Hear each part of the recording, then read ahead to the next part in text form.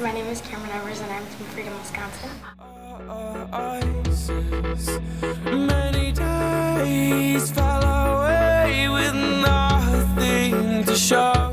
Because I like all the competition, seeing all different schools and how they play, meeting new people and having friends, not just from Freedom. All over the hills, bringing darkness from above. I, I used to do dance like when I was like three. But then my mom talked me into going to this basketball camp and I didn't want to. So then she just put in the money anyway. And then I went and I just loved it and she's like, I told you so. And then and then I could dance and I started playing basketball. Awesome. And you probably don't regret it, do you?